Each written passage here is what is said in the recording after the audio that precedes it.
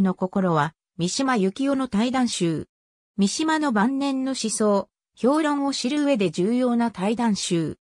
ところどころに、三島の実決を暗示させる言葉が散見されている。1968年から1970年にかけ、雑誌、新聞市場で行われた、小浜俊成、中山正俊、鶴田浩二、高橋和美、石原慎太郎、林房夫、堤誠二、野坂昭之、村上一郎、寺山修司との対談10編を収録。政治問題からヤクザ映画や空手談義まで幅広い内容である。1970年9月25日に日本教文社で刊行した。1980年代後半まで多く重版したが、現在は版元品切れ。三島は後書きでゲラ釣りを読みながら自分のおしゃべりに全く嫌気がさしたとし、様々なことを書書で喋りまくったものの、その結果、日本が少しでも自分の望むような形に変つたか。いな、明らかに私のおしゃべりが望んでいたのとは反対の方向へ変つたのであると開墾しつつも対談した人たちはそれぞれ思想は千差万別だが、うこさ弁して物を言うような人が誰もなく、それが私の幸せでもあり、名誉でもあったとし、彼らたちを振り返り、以下のように語っている。私は自分のものの考え方には頑固であっても、相手の思想に対して不損であったことはないという自信がある。これが自由というものの源泉だと私には思われる。世間からはいろいろな偏見で見られている対談者も、この本の中では明るい光の下の広場に介してお互いに自由な対話を楽しんだということが読者にはかつていただけると良いと思う。三島由紀夫、後書き、四角と組長、男の名役の書出誌の対談冒頭には、映画、人切りの田中新兵衛に扮した三島の写真が四角、三島由紀夫氏として掲載されている。末尾は編集担当者の以下のような文で締めくくられている。簡単相手いらして、いささか興奮の面持ちの鶴田氏は、対談が終わってから、婦人同伴で三島邸を訪問、さらに深夜まで夕刻の論議を続けた。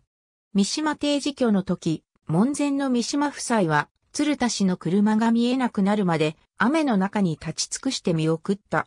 鶴田浩二は、車の中で夫人に、つくづく十回した。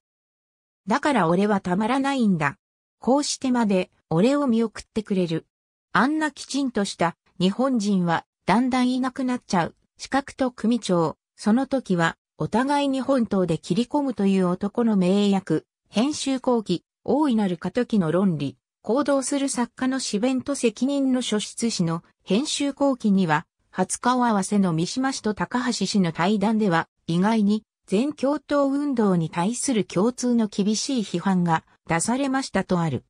守るべきものの価値、我々は何を選択するかの書出誌の編集後期には、二人の対談時のエピソードが以下のように記載されている。居合抜きの稽古の帰り、対談の席に現れた三島幸雄氏は、左手に会津派由来の真剣を持っていた。遅れてきた石原慎太郎氏がいくらか上達しましたかと冷やかすと刀を袋から出してテーブルを片隅に寄せ、居合の方を解説入りでやってみせてくれた。真剣が顔の横をかすめるのはいい気持ちではないが、私は死の腕前を信用することにした。真剣だけに、すごい迫力だった。しかし、石原氏は最後まで、指を切らなきゃいいがと心配顔で、私ほどに信用してないようであった。守るべきものの価値、我々は何を選択するか編集後期三島は、対談集刊行の際に改めて各対談を読み返し、非常に本質的な重要な対談だと思ったのは、石原慎太郎氏との対談であったとし、窮地の中ということにもよるが、相手の懐に飛び込みながら、皮脂をひらめかせて、とことんまでお互いの本質を露呈した、このような対談は、私の体験上も極めて稀であると述べている。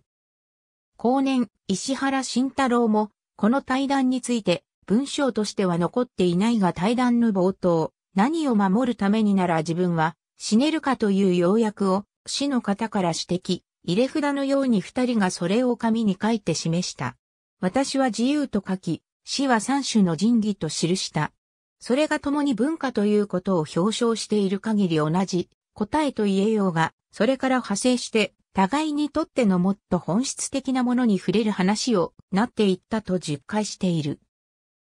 2.26事件と全学連学生との断絶の書出史の冒頭には、堤が政治独白として死を見ていると、才能の高さ大きさの分だけ誤解も多くなるということわざを思い出す。縦の回と名付けられた死の精神と美学の実験室を人々は今でも右翼的政治運動と勘違いしているが、死の創造的活動はすべて形成の所業である。私は今、武士に対する前時の役割を経営者に対する三島氏の関係に対峙して考えているという前置きを書いている。ありがとうございます。